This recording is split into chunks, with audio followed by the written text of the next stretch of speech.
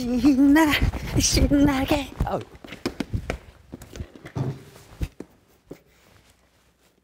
평범한 음식을 거부하는 MZ세대에 맞춰 햄버거 업체들이 각종 이색 실험 중입니다. 지난해 비사에서 패티 4장을 넣어 출시한 불량양불 피화와와와와와와와 화불버거에 이어서 이번에 왕돈가스 한 장을 통째로 넣어 칼로리 폭탄으로 만든 햄버거가 있다는데요.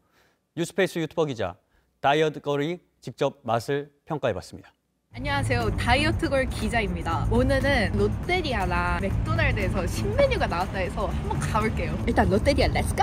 먼저 롯데리아의 왕 돈가스 버거 500원 추가하면 버터번으로도 바꿀 수 있고 소스도 매운 거랑 안 매운 거 중에 고르고 이거 거의 뭐 야무지게 먹어야지 아닌가요? 음, 돈가스를 갓 튀겼어요.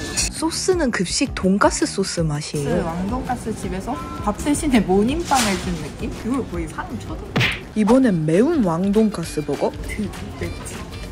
왠지 매운 돈가스가 더 맛있을 것 같은데 그 맛은? 더 짜요. 이게 더 맛있어.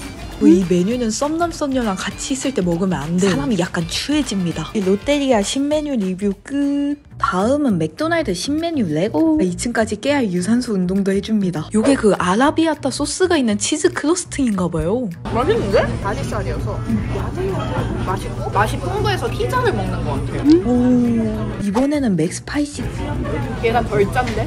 좀 더 간편한 느낌? 얘가 좀 더 공격적인 맛이에요. 최애 메뉴가 상하이 버거여서 그런지 제 입맛 에 아주 잘 맞았습니다 먹는 게 의미가 없을 것 같은 제로 콜라 여러분 무려 이렇게 햄버거 4종 리뷰를 마쳤는데요. 그러니까 제가 이번에 먹은 칼로리가 934 3234 칼로리? wow 그럼 여기에 맞춰서 또 해야 하는 운동이 천국의 계단 뭐 30분 뭐 러- 러닝 뭐 40분 먹었으니까 이렇게 운동하러 가겠습니다 이렇게 맛있는 걸 먹었으면 또 운동으로 끝내는 게 어떨까요? 그래야 이름처럼 다이어트 걸스럽지 않나요?